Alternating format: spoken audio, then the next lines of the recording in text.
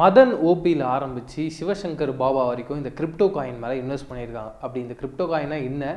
எப்படி இதை இன்வெஸ்ட் பண்ணுறாங்க இன்வெஸ்ட் பண்ணுறதுனால நமக்கு என்ன பலன் கிடைக்குது? அது மட்டும் இல்லாமல் இது வந்து ஒரு லாபகரமான பிஸ்னஸாக இருக்கா இல்லையா அப்படின்றது தான் இந்த ஒரு வீடியோவில் பார்க்க போகிறோம் அதுக்கு முன்னாடி வெல்கம் பண்ணிடுறேன். Oscar racecar namaskar. நான் உங்கள் பிரவீன் கேஎஸ் இது உங்களுடைய இன்னொரு சினிமா. சேனலை சப்ஸ்கிரைப் பண்ணாமல் நான் கைண்ட்லி சப்ஸ்கிரைப் அண்ட் பெல் ஐக்கானை ப்ரெஸ் பண்ணிடுங்க. பிட்காயின் இது எப்படி ஃபர்ஸ்ட் ஆஃப் ஆல் உருவாகுதுன்னு பார்த்தீங்கன்னா எப்பயுமே நம்ம டெக்னாலஜின்றது அடுத்தடுத்த லெவலில் வளர்ந்துக்கிட்டே இருக்கும். அதே மாதிரி தான் இந்த காயின்லேருந்து நோட்டாக மாறுது நோட்லேருந்து இது இப்போ பிட்காயினாக மாறி இருக்குது அப்படின்றத சொல்ல வரேன். ஃபர்ஸ்ட் ஆஃப் ஆல் ஃபஸ்ட்லேருந்து நம்ம வந்தோம் அப்படின்னு பார்த்தீங்கன்னா எப்பவுமே வந்து ஒரு டெக்னாலஜி இம்ப்ரூவ் ஆகிறத சொல்லணும் அப்படின்றதுக்கு முன்னாடி அதோட ஹிஸ்ட்ரி அப்படின்றது ரொம்ப முக்கியம் அப்படின்ற மாதிரி நான் நினைக்கிறேன். ஏன்னா அப்போ அது வந்து ஈஸியாக கன்வே ஆகும் பயங்கரமாக புரியும்.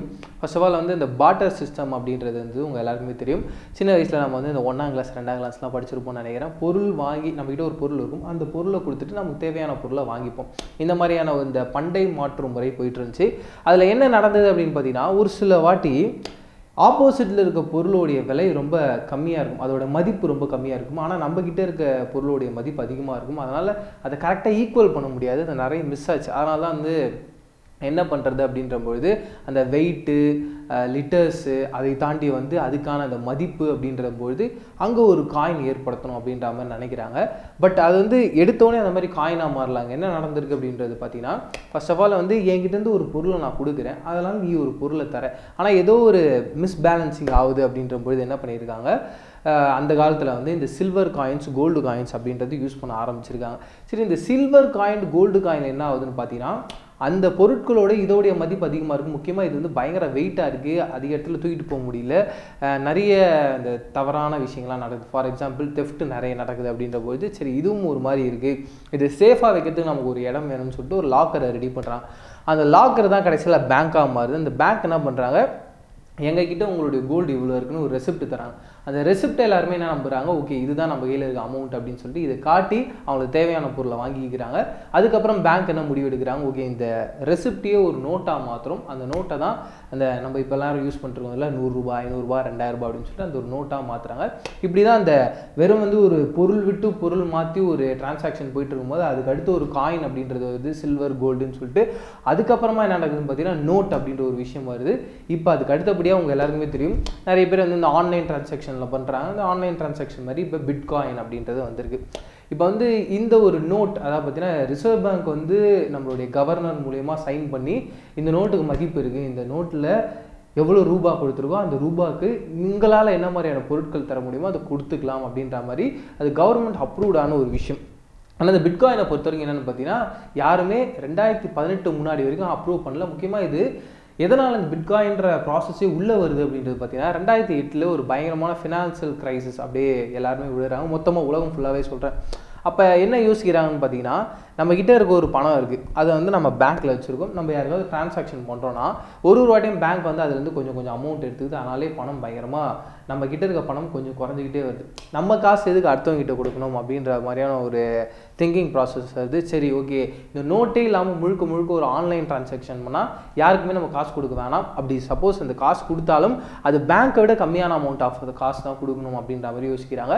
அப்போ இந்த பிட்காயின் அப்படின்றத வெளியே வருது ஆக்சுவலாக அது வந்து கிரிப்டோ காயின் கிரிப்டோ காயினில் நீங்கள் பார்த்தீங்கன்னா ஒன் சப்பான இதுதான் பிட்காயின் அப்படின்னு சொல்கிறாங்க இது மாதிரி இந்த பிட்காயின் மாதிரி நிறைய இருக்குது ஃபார் எக்ஸாம்பிள் இப்போ நூறுரூவா நோட்டு இருக்கா?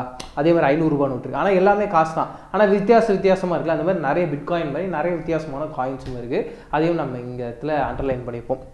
அதுக்கப்புறம் என்ன என்ன நடக்குது பார்த்தீங்கன்னா இதில் எல்லாருமே வந்து பணக்காரங்க நிறைய பேர் இன்வெஸ்ட் பண்ண ஆரம்பிக்கிறாங்க. என்ன ரீசன் பார்த்தீங்கன்னா இப்போ நம்ம ஒரு பேங்க்கில் ஒரு சர்டைன் அமௌண்ட் வச்சுருக்கோம் அப்படின்னு பார்த்தீங்கன்னா எல்லாத்துக்குமே ஒரு லிமிட்ஸுன்றது இருக்குது அதை தாண்டி அந்த லிமிட்டுக்கு மேலே இருந்துச்சுன்னா கண்டிப்பாக கவர்மெண்ட் சைட்லேருந்து கேள்வி கேட்பான் எதனால் இந்த அமௌண்ட் வந்துச்சு? எப்படி உங்களுக்கு இவ்வளோ அமௌண்ட் வந்துச்சுன்னு சொல்லிட்டு ஏகப்பட்ட கொஸ்டின்ஸ் இருக்குது ஆனால் இந்த பிட்காயினை பொறுத்த வரைக்கும் என்னென்னு பார்த்தீங்கன்னா யாருமே எந்த கேள்வியுமே கேட்க மாட்டாங்க. நீங்கள் எத்தனை கோடி வேணால் அதுக்குள்ளே வச்சுக்கலாம். ஃபார் எக்ஸாம்பிள் நம்ம வந்து இதுக்கு முன்னாடி காலகட்டத்தெலாம் யோசிச்சிருப்போம். இந்த சுஸ் பார்த்தீங்கன்னா சுஸ் பேங்க் அப்படின்னு வாங்க. அந்த சுஸ் பேங்க்கில் வந்து எவ்வளோ அமௌண்ட் வேணால் வச்சுக்கலான்னு வாங்க. அது பயங்கர செக்யூர்டான ஒரு பேங்க்கு பெரிய பெரிய பணக்காரங்களாம் அவங்களுடைய பணத்தெல்லாம் அது தான் வச்சுருக்காங்கன்னு கண்டிப்பாக கேள்விப்பட்டிருவோம் பட் இப்போ நீங்கள் யோசிச்சு பாருங்கள் ஒரு பேங்க்குன்றது அவ்வளோ செக்யூர்டாக இருக்கணும். அதுக்கு அவ்வளோ இரும்பு அறைகள் இருக்கணும். அது பார்த்துக்கிறது அத்தனை மனுஷங்கள்லாம் வேணும்னு சொல்லிட்டு இவ்வளோ ப்ராசஸ் அதுக்குள்ளே இருக்குது பட் இதை பொறுத்த வரைக்கும் இந்த மாதிரியான எந்த விஷயமும் தேவையில்ல. ஏன்னா முழுக்க முழுக்க இது ஒரு ஆன்லைன் டிரான்சாக்ஷனாக இருக்க போகுது. அதனால் இதில் என்ன பண்ணுறாங்கன்னு பார்த்தீங்கன்னா இந்த வெப்பை எவ்வளோ எவ்வளோ ஸ்ட்ராங் பண்ண முடியுமோ ஸ்ட்ராங் பண்ணுறாங்க ஸ்ட்ராங் பண்ணுறது மட்டும் இல்லாமல் இதை யாராவது ஹேக் பண்ணிட போகிறாங்க அப்படின்றதுக்காக இதுக்குன்னே ஒரு மிகப்பெரிய ஒரு டீம் உருவாக்கி அந்த டிரான்சாக்ஷன்லாம் வந்து ஒருத்தர்கிட்ட ஒருத்தர் போகுதுன்றது டிரான்ஸ்பரண்ட்டாக இருக்குது இப்போ நான் வந்து உங்ககிட்டயும் ஒரு பிட்காயினோடைய வேலட் இருக்குது என்கிட்டயும் ஒரு பிட்காயினோட வேலட் இருக்குன்னா நான் உங்ககிட்ட டிரான்சாக்ஷன் பண்ணலாம். பட் இந்த மாதிரியான டிரான்சாக்ஷன் நடந்திருக்குன்னு காட்டுவாங்களே தவிர யாருக்கும் யாருக்கும் அந்த டிரான்சாக்ஷன் நடந்திருக்கு அப்படின்றது தெரியாது. நீங்கள் இந்த பிட்காயின் ஸ்டார்ட் ஆன காலகட்டத்திலேருந்து இப்போ வரைக்கும் அந்த டிரான்சாக்ஷனை பார்க்க முடியும். ஆனால் யாருக்கும் யாருக்கும் அந்த டிரான்சாக்ஷன் நடந்திருக்குன்றதை பார்க்க முடியாது. அப்படி இருக்கும் பட்சத்தில் அந்த ஒரு விஷயத்தை ரொம்ப சீக்ரெட்டாக செக்யூர்டாக இருக்குன்னு சொல்லிட்டு என்ன பண்ணுறாங்க அதுக்குன்னு நிறைய நிறுவனங்களை நியமிக்கிறாங்க. இதுக்காக அவங்களுக்கு என்ன தேவைப்படுதுன்னு பார்த்தீங்கன்னா ஒரு பயங்கர ஸ்பீடான இன்டர்நெட் அதே மாதிரி இன்னொரு விஷயம் தேவைப்படுது. நிறைய கரண்ட்டு அதே மாதிரி நிறைய சர்வர்ஸ் இது மூணும் தேவைப்படுது. இது மூணுத்தையும் வச்சு தான் அவங்க இந்த பிட்காயின் அப்படின்றத ஹேக் ஆகாமல் தடுத்து அவங்களால அந்த டிரான்சாக்ஷனை ரொம்ப ஈஸியாக பண்ணிக்க முடியுது. முக்கியமாக வந்து இந்த பிட்காயின் வந்து ஒன்றே வந்து இருபத்தேழு லட்சத்துலேருந்து இருபது லட்சம் வரைக்கும் இருக்குது அப்படின்ற மாதிரி சொல்லிக்கிறாங்க. சராசரியான மனுஷங்க நம்மள மாதிரி ஆட்கள் எப்படி சார் பிட்காயின் வாங்க முடியும் அப்படின்ற மாதிரி கேள்விகளாக இருக்கும். இது மட்டும் இல்லாமல் எப்படி இந்த பிட்காயினை வாங்கலாம்? அது உண்மையிலேயே வந்து இந்த கவர்மெண்ட்டால் அப்ரூவ் பண்ணிட்டாங்களா அப்படின்ற ஒரு டவுட்டும் இருக்கும். அதான் சொல்கிறேன் ரெண்டாயிரத்தி பதினெட்டு வரைக்கும் இது வந்து அப்ரூவ் பண்ணல. எல்லாருமே என்ன சொன்னாங்க பார்த்தீங்கன்னா இது வந்து கவர்மெண்ட்டுக்கு எதிரான ஒரு விஷயம். அதனால் நாங்கள் எந்த விதமான சப்போர்ட்டும் இது பிட்காயின் கொடுக்கலன்ட்டாங்க. ஆனால் ரெண்டாயிரத்தி இருபதுக்கு அப்புறமா இது வந்து ஒரு அப்ரூவ்டான ஒரு விஷயம் ஆயிடுச்சு. இப்போ எல்லாருமே பிட்காயின் அப்படின்றது யூஸ் பண்ண ஆரம்பிச்சிட்டாங்க. இதுக்கு நான் முன்னாடி ஒரு விஷயத்த சொல்லியிருந்தேன். என்ன சொல்லியிருந்தேன்னு பார்த்தீங்கன்னா ஒரு ஒரு வாட்டியும் இந்த டெக்னாலஜின்ற வரும்போது ஒரு ஒரு மாற்றத்தை கொண்டு வந்துகிட்டே இருக்கும். அதனால் மாறிக்கிட்டே இருக்கும் அப்படின்னு சொன்னேன். இப்போ நம்ம கண்ணால் பார்த்த ஒரு காசு நம்ம நம்பணும்ல அந்த பேப்பருக்கு மதிப்பு இருக்குன்னு சொல்லிட்டு இப்போ என்ன நம்ம நம்ப போகிறோம் அப்படின்றத பார்த்தீங்கன்னா இந்த காற்று மூலியமாக இந்த காசு பரவுது. நம்ம கண் கூட பார்க்காம முழுக்க முழுக்க அது வந்து ஒரு காற்று மூலியமாக பரவுற ஒரு விஷயமா இருக்குன்றதை நம்ம நம்புகிறோம் அதை நம்பி தான் இது ஒரு பிட்காயின் அப்படின்ற ஒரு மேட்ரு உருவாகுது. ஃபார் எக்ஸாம்பிள் இந்த மனுஷனோட எவல்யூஷனுமே அப்படி தான் ஒரு குழந்தை வந்து என்ன பண்ணுது? இன்னொருத்தரை பார்த்து அவங்க நடக்கிறாங்க நம்மளால நடக்க முடியும் அப்படின்றத நம்புது. அந்த நம்பிக்கையை வச்சு தான் அது நடக்க ஆரம்பிக்குது. அந்த மாதிரி முழுக்க முழுக்க இது வந்து ஒரு நம்பிக்கை ப்ராசஸ்லாம் இருக்குது வெறும் இந்த நோட்டுக்கு மட்டும் நான் சொல்லலை. எல்லா விஷயங்களும் இந்த உலகத்தில் எந்த விஷயம் எடுத்தாலுமே வந்து ஒரு நம்பிக்கையின் அடிப்படையில் ஒரு டெக்னாலஜியை கண்டுபிடிப்பாங்க. அதுக்கப்புறம் தான் அது அடுத்த அடுத்த லெவலில் அப்கிரேட் ஆகி ஒரு மிகப்பெரிய வளர்ச்சியில் எடுத்துகிட்டும் இருக்கும். இதுதான் நம்ம இந்த பிட்காயின் விஷயங்களையும் பார்க்குறோம். இதுக்கு அடுத்தபடியாக என்னென்னு பார்த்தீங்கன்னா இந்த பிட்காயினை ஃபர்ஸ்ட் ஆஃப் ஆல் இன்வெஸ்ட் பண்ணலாமா வேணாமா? ஏன்னா எல்லாருக்குமே ஒரு டவுட் இருக்குது ஏன்னா வந்து இருபது லட்சத்துலேருந்து இருபத்தேழு லட்சன்றாங்கன்னா அப்போ பணக்காரங்க மட்டும் தான் பிட்காயினை இன்வெஸ்ட் பண்ண முடியுமா? இன்னொரு பக்கம் என்ன சொல்கிறாங்க பார்த்தீங்கன்னா இந்த பிட்காயின்றது இருபத்தோரு மில்லியன் பிட்காயின்ஸ் மட்டும்தான் இருக்கும். அதுக்கு மேலே வந்து கிரியேட்டே பண்ண முடியாது அப்படின்ற ஒரு விஷயமும் சொல்கிறாங்க எதனால் அதை சொல்கிறாங்க பார்த்தீங்கன்னா இதுக்கு வந்து ஒரு சர்டைன் அமௌண்ட் ஆஃப் லிமிட்ஸ் இருக்குது அதாவது நீங்கள் எவ்வளோ வேணால் இன்வெஸ்ட் பண்ணிக்கலாம். ஆனால் பிட்காயின் அதுக்குள்ளே இருக்குது தெரியுங்களா? அந்த பிட்காயினுக்குள்ளே இருக்க அமௌண்ட் வந்து ஒரு சர்டைன் அமௌண்ட் ஆஃப் லிமிட் இருக்குது அதுதான் இந்த இருபத்தோரு மில்லியன் மதிப்புள்ள ஒரு பிட்காயின்ஸ் அப்படின்றது அதுக்கு மேலே அது டெவலப் ஆகாது அதோடு நின்றுடும் அந்த பிட்காயின் வச்சு நீங்கள் அந்த ரொட்டேஷனில் நீங்கள் வந்து யூஸ் பண்ணிக்கிட்டே இருக்கலாம் அப்படின்றது தான் இதில் இருக்க விஷயங்கள்.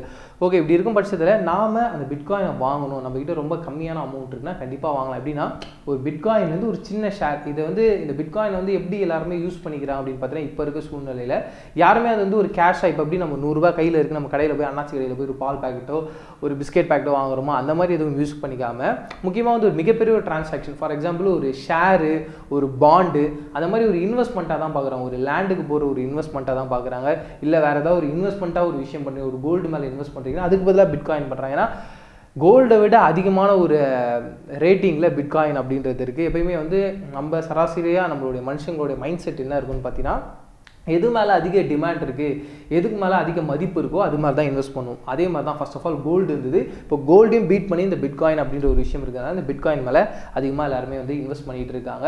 அதுதான் நானும் சொல்கிறேன் இப்போ சின்ன சின்ன அமௌண்ட்டாக நீங்கள் சேர்த்து வச்சு சேர்த்து வச்சு ஒரு இருபத்தி ரெண்டு லட்சம் வரைக்கும் அதில் அமௌண்ட்டை கட்டி நீங்கள் ஒரு பிட்காயினை வாங்கலாம். இப்போ அப்படி முழுசாக அந்த பிட்காயினை வாங்க முடியலான்னு நீங்கள் சின்ன சின்ன அமௌண்ட்டாக சேர்த்து வைக்கிறீங்களே அந்த ஒரு அமௌண்ட்டையும் நீங்கள் யார்கிட்டே விற்று முழுக்க முழுக்க இது ஒரு ட்ரேடிங் மாதிரி தான். கிட்டத்தட்ட அந்த ஷேர்ஸ் எல்லாம் பண்ண வந்துருங்க அது மாதிரி தான். அந்த ட்ரேடு ஏறும் போது அது நம்மளால் விற்க முடிஞ்ச நமக்கு வந்து விற்கணும் ஆசை இருந்துச்சு அதை விற்றுக்கலாம் சப்போஸ் ட்ரேடு இறங்கும்போது கொஞ்சம் வெயிட் பண்ணி நின்று நிதானமாக எப்போ அது ட்ரேடு மறுபடியும் ஏறுதோ அப்போ நம்ம விற்று அந்த காசாக மாற்றிக்கலாம் இவ்வளோ தான் இந்த ப்ராசஸிங் எல்லாமே நடக்குது. பட் எல்லாருக்குமே இப்போ வரைக்குமே என்ன பயம் இருக்குது அப்படின்றது பார்த்தீங்கன்னா இப்போ நம்ம கையில் ஒரு நோட்டாக இருக்குது ஒரு ஐநூறுரூபா இருக்குது ஒரு ஆயிரரூபா இருக்குது ரெண்டாயிரரூபா இருக்குது அப்படின்ற பட்சத்தில் இது வந்து ஒரு கவர்மெண்ட் அப்ரூவ் பண்ணுற ஒரு விஷயம். இது வந்து ஒரு ப்ரைவேட் ப்ரைவேட்லேருந்து ஒருத்தர் என்ன பண்ணுறாரு நான் என்கிட்ட ஒரு அமௌண்ட் இருக்குது அது வேறு யாருக்கோ கொடுக்க போகிறேன் அவரும் நடுவில் ஒரு சின்ன கமிஷன் அப்படின்றது எடுக்கிறாரு பட் பேங்க் அளவில் ரொம்ப கம்மியாக எடுக்கிறாரு. முக்கியமாக அது ஹைலி செக்யூர்டாக இருக்குது யாருக்குமே தெரியாது. ஏன்னா நிறைய பேர் இந்த பிளாக் மணி அப்படின்றதெல்லாம் வச்சுருக்காங்க. அவங்களுக்குலாம் ரொம்ப தேவையான ஒரு விஷயமா இருக்குது அப்படி இருக்கும் பட்சத்தில் அவங்க என்ன பண்ணுறாங்கன்னா இந்த மாதிரி ஒரு விஷயத்தை கிரியேட் பண்ணுறாங்க இவங்களும் யூஸ் பண்ணுறாங்க அது ட்ரேடிங்லாம் ஏறுது அதெல்லாம் ஒரு பக்கம் இருக்கும் பொழுது இந்த மாதிரியான ஒரு விஷயம் சப்போஸ் அந்த ப்ரைவேட் ஆள் வந்து எனக்கு இது பிடிக்கல நான் வந்து இது வந்து டிசால்வ் பண்ணுறேன் அப்படின்னு சொல்லி டிசால்வ் பண்ணிட்டான்னா உள்ளே இருக்க மொத்த காசும் கோவிந்தா. ஏன்னா வந்து நீ கவர்மெண்ட்கிட்ட போய் நம்ம சண்டை போட்டு எப்படியாவது கெஞ்சி கூத்தாடி இப்போ அந்த விஷயம் அதுக்கு பதிலாக வேறு ஒரு விஷயத்த நம்ம எப்படியாவது போராடி வாங்கிடலாம். இந்த மதிப்புலலாம் அது அதுக்கு நிகரான ஒரு மதிப்பில் வேறு ஒரு பொருளை தந்துடுவாங்க ஆனால் இந்த மாதிரி ப்ரைவேட் செக்டாரில் நீங்கள் பொறுத்த வரைக்கும் பார்த்தீங்கன்னா நீங்கள் யார்கிட்டையும் போய் நின்று சண்டை போட முடியாது. ஃபார் எக்ஸாம்பிள் இதெல்லாம் எப்படின்னா ஒரு சிட் ஃபண்டில் போய் சிட் போட்டோன்னு வச்சுக்கோங்க. உங்கள் நீங்கள் நிறைய வாட்டி பார்த்துருப்பீங்க ஏகப்பட்ட படங்கள். ஃபார் எக்ஸாம்பிள் ஒரு டூ தௌசண்ட்லேருந்து டூ தௌசண்ட் ஃபைவ்க்குள்ளே வர படங்கள் எல்லாத்துலேயும் நீங்கள் வந்து ஒரு சீன் கண்டிப்பாக பார்க்கலாம். இந்த சிட் ஃபண்ட்லேருந்து ஏமாத்திடுவாங்க அப்படின்றத. அந்த மாதிரியான சீக்வன்ஸாக இது நடக்கிறதுக்கான வாய்ப்புகள் நிறைய இருக்குது ஏன்னா பிட்காயின் மாதிரி நிறைய காயின்ஸ் வந்துச்சு இந்த கிரிப்டோ கரன்சின்றது உலகம் ஃபுல்லாக பயங்கர ஃபேமஸாக போயிட்டு இருக்குது அதனால் இதில் நிறைய தவறான தப்பான விஷயங்கள்லாம் நடக்குது. முக்கியமாக நிறைய பேர் சீட் பண்ணுறாங்க ஏமாத்துறாங்க. ஏன்னா என்கிட்டயும் பிட்காயின் இருக்குது நாங்களும் ஒரு புது கம்பெனி ஸ்டார்ட் பண்ணியிருக்கோம். நீங்கள் இதில் இன்வெஸ்ட் பண்ணுங்கள் மற்ற கிரிப்டோ கரன்சியோட எங்களுடைய கரன்சி பயங்கர வேல்யூவாக இருக்குது அப்படின்னு சொல்லிட்டு பயங்கரமாக மக்களை ஏமாற்றி முக்கியமாக மக்களோட எண்ணமும் என்ன இருக்குதுன்னு பார்த்தீங்கன்னா நம்ம வந்து வேலையே செய்யக்கூடாது. சோம்பேறித்தனமாக இருக்கணும் ஆனால் நமக்கு வந்து லட்ச லட்சமாக வந்து பேங்க்கில் அமௌண்ட் கூட்டிகிட்டே இருக்கணும். நம்ம வந்து பயங்கர லட்சாதிபதியாக இருக்கணும் சந்தோஷமாக இருக்கணும். சோம்பேறித்தனமாக இருந்தால் ஆனால் நிறைய பணம் சம்பாதிக்கணும் அப்படின்ற மைண்ட் செட் வந்துட்டாங்க. அந்த ஆசையை இந்த மாதிரியான கிரிப்டோ கரன்சி ஆட்கள் யூஸ் பண்ணிக்கிட்டு பயங்கரமாக ஏமாற்றிட்டு இருக்காங்க. ஒரு பக்கம் இன்னொரு பக்கம் இது ஒரு இன்வெஸ்ட்மெண்ட்டாகவும் பார்த்து கரெக்டான ஒரு ட்ரேடிங் வரும்போது அது விற்று அவனும் சந்தோஷமாக இருக்கான் இது எப்படின்னா கேட்டான் வால் மாதிரி தான் இது வந்து கண்டிப்பாக நீங்கள் இன்வெஸ்ட் பண்ணி ஆகணும் அப்படின்றத நான் சொல்லலை. இன்வெஸ்ட் பண்ணாமல் இருங்க அப்படின்றது சொல்ல உங்ககிட்ட ஒரு சின்ன அமௌண்ட் இருக்குது ஃபார் எக்ஸாம்பிள் நீங்கள் வந்து ஒரு ஒரு வருஷத்தில் இல்லை ஒரு மாசத்துல இந்த டீ குடிக்கிறதுக்குன்னு ஒரு செலவு பண்ணி ஒரு பத்து ரூபா செலவு பண்ணி அந்த மாதிரி ஒரு சின்ன சின்ன அமௌண்ட்டாக சேர்த்து வச்சு அந்த அமௌண்ட்டில் முதல்ல அந்த பிட்காயினாக நான் சொன்னாலும் அந்த ஒரே ஒரு பிட்காயின் வந்து ஒரு சின்ன ஷேரை வாங்கலாம்னு சொல்லிட்டு அந்த மாதிரி சின்ன சின்ன ஷேரை வாங்கி இன்வெஸ்ட் பண்ணிக்கிட்டே வாங்க. சப்போஸ் இந்த பிட்காயின் வந்து கோல்டோட அதிகமான ஒரு இடத்துக்கு போயிடுச்சுல அதே மாதிரி அது நின்றுடுச்சு இப்போ எப்படி நம்ம ஒரு நோட்டு அது ரூபா நோட்டுன்றதை நம்புகிறோம் அதை நம்பி ஒரு கடையில் கொடுத்து வாங்குறோம் ஒரு பொருள் அப்படின்ற மாதிரி. பிட்காயின் அப்படின்றதையும் ஒரு புழக்கத்துக்கு வந்துருச்சு அப்படின்னு இருக்க பட்சத்தில் அது கண்டிப்பாக நாலோ போக்கில் அதாவது பார்த்தீங்கன்னா ஃப்யூச்சரில் நமக்கு அந்த இன்வெஸ்ட்மெண்ட்டாக யூஸ் ஆகும். பட் இப்போ நமக்கு அது யூஸ் ஆகுமா அப்படின்றது தெரியல. பட் சப்போஸ் அது டவுன் ஆயிடுச்சுனாலும் இப்போ டீ கொடுக்குற காசு அப்படின்றது பத்து ரூபா. அது அப்படியே தொடர்ந்து போயிட்டே இருக்கும்போது என்ன ஆகும்? ஒரு பெரிய ஒரு ஒரு லாஸாக இருக்காது. அதனால் கண்டிப்பாக அது சின்ன அமௌண்ட் இன்வெஸ்ட் பண்ணுறது ரொம்பவே நல்ல விஷயம் அப்படின்ற மாதிரி தான் நான் நினைக்கிறேன். ஓகே நீங்கள் இந்த பிட்காயினை பற்றி ரொம்ப தெளிவாக தெரிஞ்சுக்கிட்டீங்க. வேறு ஏதாவது டவுட்ஸ் இருக்குது அப்படின்னாலும் கீழே இருக்க காமெண்ட் செக்ஷன் ஷேர் பண்ணிக்கோ. இதே மாதிரி சூப்பரான அடுத்த வீடியோவில் சந்திக்கிறேன். அது ரெண்டாடா பபிஸ்வினா பிரவீன் கேஎஸ் பாய்